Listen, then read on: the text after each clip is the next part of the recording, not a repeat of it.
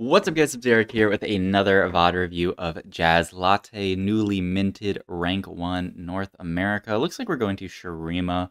Uh, we'll see. Oh, it's the Remover Galaxy. Oh, how fun. Alright, that will be interesting, interesting to see. Uh, if you guys don't know, this is the region where you get a Magnetic Remover on your bench at the start of every round. So, could be, uh, yeah, that should be very fun. Uh, is going to hold the Malzahar pair to start. Uh, so, yeah, I mean... I wanted to watch some more Jazlatte. He, I mean, it, one one thing that I didn't actually get to talk about in last video, actually. So if you look, Dishsoap uh, is now ranked two North America. He was ranked one North America. Uh, what a beast! this guy. Um, Dishsoap was ranked one. He's now ranked two, just by a tiny bit because Jazlatte just climbed up. Um, but something that's crazy if you look at the games played, Dish has about 300 games played this set, and Jazlatte has 200 games played. Ooh, Risky Moves is really, really strong if you don't die. Uh, one of the stronger augments uh, at 2-1. Um, curious to see. He doesn't really have amazing... I mean, he can make he can make Static Shiv with his current items. Oh, Blood Money is also really, really good. Okay, a Blood Money opener. Okay. Uh, for you guys who don't know, Blood Money, uh, every time you take damage, you get gold. I think it's every 3 HP you lose, you get 1 gold. Um, so he's going to play some kind of lost streak opener and then have a bunch of gold. It's uh it's a very very strong opener. Interesting that um like he could make 10 here if he really wanted to, especially after the blood money, but he's just going to hold all the pairs. It looks like almost like he doesn't want to play for like lost streak opener. Curious. Because I think if I got this opener, I'd be very tempted to just make uh, Econ. Ooh, he's holding the Noxus opener again. I think uh Jazlatte maybe is just uh, a Noxus enjoyer, uh, which could make sense. Though these items for Noxus, I mean, it's half Titans, half BT, half Hodge. It's a forest. Um, but yeah. Okay, he's gonna send the static shiv. I mean, I think that's the most sensible thing from this spot. You could angle for an Azir comp. You could, um, you could still play Kai'Sa with uh, static shiv. It's not BIS, but it's not worst in slot.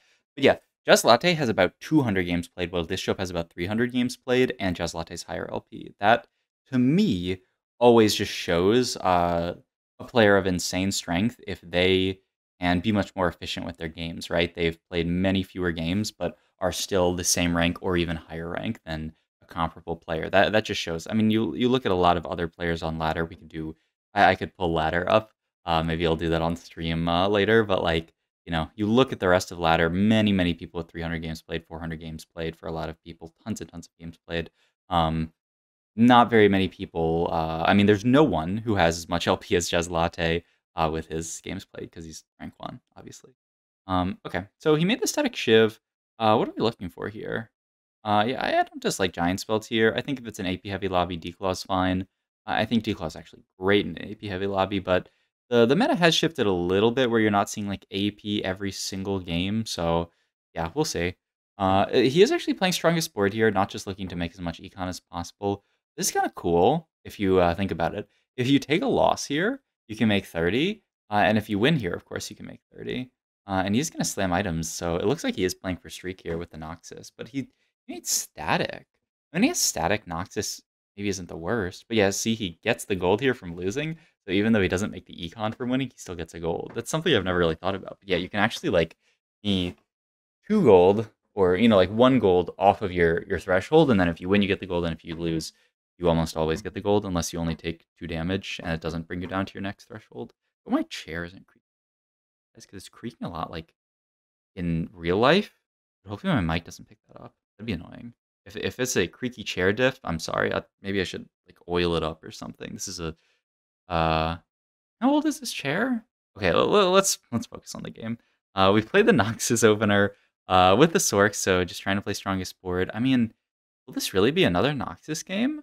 Um, he's scouting around the lobby, but a two times speed. Yeah, there's a few other people playing Noxus openers. It, it also might just be that he thinks Noxus is a very strong opener just because of the stats that it gives, and like Samira and um, I mean, it's great for killing units, right? Samira and um, and Cassio are great at killing units. Uh, items drops wise, uh, I mean, you could go like BT and play into Noxus. Um, has Invoker in here. He also is holding potential Ionia units. Um, okay, so yeah, a, a lot of options. Oh my god.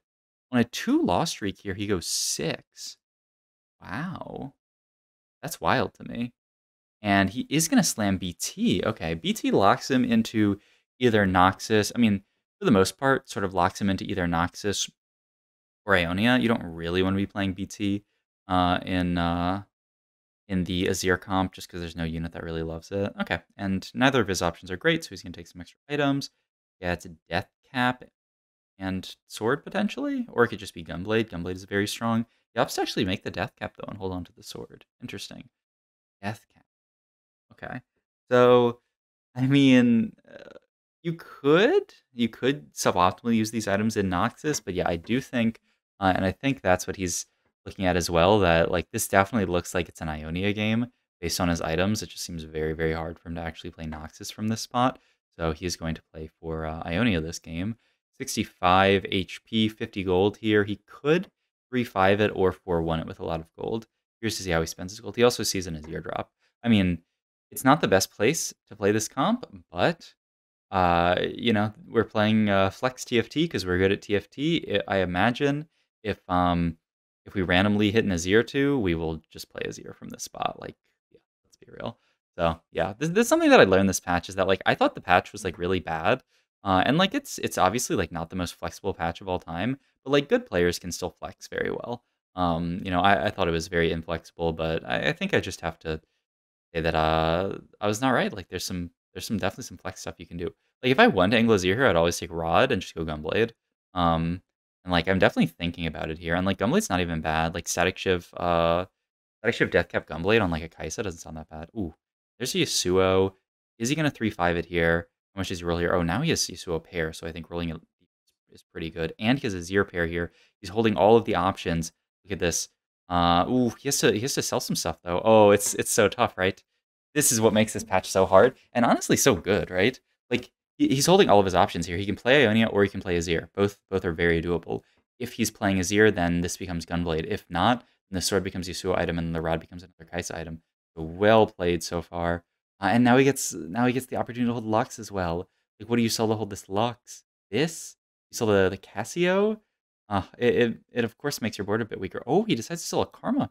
Sells two Karmas. Oh, and that's Yasuo. I, I think I, I think you have to you you just have to take the um take the direction there. The fact that you have Yasuo 2 at this spot means that you are playing around Ionia and you are not going to play around Azir. Unless, I mean, imagine. Imagine we hit a zero two in the next shop, and then we play Ionia Shurima. Like, uh, I don't know. I, I don't know how much of a comp that is.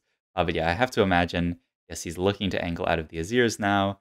Uh, curious if he just sells his entire bench here to make econ, because I, I think most people probably would. It looks like he's still staying open. Yeah, I mean, this is this is craziness, but uh, he can keep rolling at seven here, and then you know if you hit a random Azir two, uh, like there's Lux, there's Jarvan. Oh my god, it's so hard. Okay, but Kai'Sa two, and we're done. Okay, beautiful. I mean, I honestly would have really liked to see, and he's still looking for last Azir unit, either uh, Zed or um or Jhin. He has neither right now. He's playing a giant Swain on his board right now, and he he does get to make the Gunblade now. So great. He also has another sword, which could just be Deathblade Yasuo. Um, I think Deathblade on Yasuo is fine. I think maybe he thinks he can find better though. Go for like Edge of Night plus maybe IE or something. I don't know. We'll see. Well earned Comforts is not bad. Social distancing is amazing. Uh, he did. He has two extra item components. I don't know. I kind of like because he has the extra item components. Well Comforts. This is a uh, Jeweled Lotus, but uh, I don't know. Let's see what he takes here. I, I'd probably just take well earned. Okay, he rerolls it, rerolls everything and takes Challenger Crest. Okay. challenger Undercrest is nice because it spikes the board really hard. Um, where did he get that RFC? Did he always have RFC? Oh, wait, does Challenger Prismatic give RFC? Oh, I guess it does. Oh, that's pretty sick. I don't think I've taken this augment before. He gives RFC. I mean, that's great, right? That's I, I'm as I've said many times before, I am a huge proponent of RFC Yasuo. I think that it is just busted. Oh my god, he has to challenger his Shen. Um, whatever, I guess. Um, but yeah, I think RFC Yasuo is insane. He does have it in the middle of the board, which I think is actually like not great positioning wise. Um, but I mean, his board is so stabilized here. But I mean, beautiful, beautiful roll down, similar to um, when uh, when we were talking when I was watching the Dishsoap pod uh, earlier a few days ago. Uh, you stay open to multiple lines with these flexible items, right? Uh, if you hit Azir 2, you can play around BT. It's not great, but like, you know, he, he ends up hitting though like the the best possible line uh, and he plays a six challenger variant. Uh, yeah, I really like this Yasuo positioning. Third from the left or third from the right allows him to snipe the back corner almost every time. Alright, sorry about that, I got hit by an ad on Twitch. Hopefully, I edited this section out. If I did, you guys better like the video for how much effort I put into it, because I can't just straight upload the VOD now. I have to edit it and re-render it. So you guys are freaking welcome, uh, and, you know, you better, uh, appreciate it. Uh, so what did he go for here? Because I really think Deathblade is fine in this circumstance. Just for Tear? Here. Also hits a Nasus too here that he was just holding on bench, which you can actually Whoa. Whoa! Okay, he's gonna make Shojin Kai'Sa, and then move the static Mm, of course, of course. 3 actual damage items on your Kai'Sa, and then you can remove or remove the static shield over to Kalista. that's beautiful. Um, really cool also to see the the 6 challenger version of the comp. So many people, like, myself included, uh, just watching this game, I think, "Oh, you know, I need to find 6 Ionia, where's my Jhin?" But, uh, he says, "Okay, well, I have a bunch of challengers, I don't have 6 Ionia. Let's just play the 6 challenger version of the board." I have Nasus, which can actually fit onto the board, hits Nasus too, and then boom, all of a sudden we have a tank in Nasus. So many games I've played rolling down saying, "Oh my god, I can't find Shen 2, this game sucks." He just says, "Oh, all good, I found Nasus too." Ah, Flex Play is alive and well this patch, man. Honestly honestly, like, the more I watch good players play, I feel like this patch is actually, like, really good. And, like, the reason I thought the patch was bad is because I was garbage at the set. Aw, man, I need to... ugh, I need a VOD review. I need a VOD review, like, 2 games for every 1 game I play. Because like, literally just watching this VOD from Jazlatte, the one prior to this, and the Dish one, like, literally those are the only these these VOD reviews on my YouTube channel are the only ones that I have done, uh, and all of them have been, like, eye-opening to me, and these are just random VODs I'm picking for the channel. So imagine if I just VOD reviewed, like, 24/7. And I mean, look at this, look how stable his board is because he played flexibly. Uh, he gets Edge of Night onto his Yasuo, but kept the opportunity to make IE, which is really, really solid as well. Um, I do feel like like, RFC like, this might be BT or BT, uh, this this might be BIS Yasuo, actually. Um, it's a little bit low damage, but the the problem the the only downside to RFC Yasuo is that he will run into the back line, and then if your front line dies, then people often aggro onto him. The nice thing is he has a really strong front line, so he doesn't even have to worry about that. But I mean, yeah, look at him. 65 HP win streaking. I mean, he's kind of down a silver augment combat-wise, so he's even streaking without that, but I mean, you know, it's it's silver augment at the end of the day, not the end of the world, but I mean, just a beautifully played game from Jazlatte. Just really, really a lot of unintuitive decisions, uh, made, holding on to those Azirs until he found the Kai'Sa too. Um, you know, taking the challenger spat and playing the 6 challenger version of the board, which ended up absolutely being strongest. Spikes you so hard in the moment, playing the 6 challenger version of the board, holding onto the Nasus, playing Nasus here. Like, ah, my eyes opened to to so many new lines in this comp that I was I I've never played on my own. So really, really beautiful play from Jazlatte so far. Let's see how he ends up capping out the board. Because what is level 9? Uh, I mean, you can play, like, an Ahri onto this board. Um maybe? Uh, like, right now, he's actually playing this Ryze on 8, um, and just playing 3 Ionia, uh, 'cause, yeah, you can't actually get I mean, you'd have to cut the Nasus to actually get to 6 Ionia, which doesn't sound worth it to me. Uh, he's probably gonna lose to this board. This, uh yeah, just another Ionia board, looks like. Uh, ooh, there's Ionia Spat, though, and that could allow you to play 6 Ionia, and Ionia Spat is really, really solid on that Kalista that he has on board, so I think you'll always take this if you can. Yoink! Very good. Uh, it'll also help Kalista proc the Static Shiv a lot faster. Uh, he's gonna level here, just get Warwick in. Another Juggernaut, finds Gwen too. Whoa! He puts the Ionia Spat on Nasus, actually, um, just because, uh, he's he's strong frontline. Okay, and now he's gonna move 'em all Oh, that's so okay, so he put Ionia Spat on Nasus because he wanted to remove the Nasus and put items onto Bel'Veth. He he was aiming from that spot to move items to Bel'Veth, because Bel'Veth is one of the best holders of Ionia Spat in the game, and one of the best holders of Challenger Spat in the game. Uh, so he knew he wanted to remove her Nasus, he just puts them both on Nasus, that when he gets, uh when when he gets that Bel'Veth, he can remove her, and so now he removes, and boom, look at that, now he's got the Challenger Ionia Bel'Veth, which could absolutely do some work. He's also got a random Sion on this board because he had an open slot, uh, and so he's gonna play that. Ah, just beautiful, beautiful comp building from Jazlatte. I feel like every single round I watch this guy, he's doing some crazy beautiful stuff. Uh, really goes to show why he hit rank 1 in North America. This is really consistent play, just just beautiful play. Like, uh, I don't know what to say, honestly. Uh, I like the Heimerdinger a lot on this board, actually. He took it out for 1 round, maybe because it was weaker before he gets the, uh, the turret upgrades, he didn't have enough gold. but he lacks healing reduction. He already has shred. He doesn't really need that, but um, he, he definitely needs healing reduction. Um, I mean, depending on the rest of the matchups, but yeah. And there's Mechanoswarm. Nice. And a Heimerdinger pair. Goldinator is kind of meh. Another Mechanoswarm. He's going to take one Shrink Ray. Um, and then double Shrink Ray. Okay. Double Shrink Ray does actually... Oh, he doesn't have any um Armor Shred, right? Yeah. The double Shrink Ray actually feels really good. And the Mechanoswarm... I mean, one is the same as three. They all uh, healing reduct the same amount, so it's fine.